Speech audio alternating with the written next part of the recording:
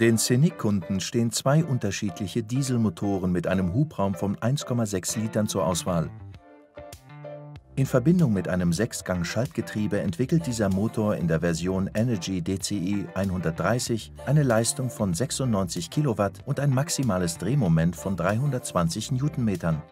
In der Version DCI 160 hingegen stehen dem Kunden 118 Kilowatt und 370 Newtonmeter zur Verfügung.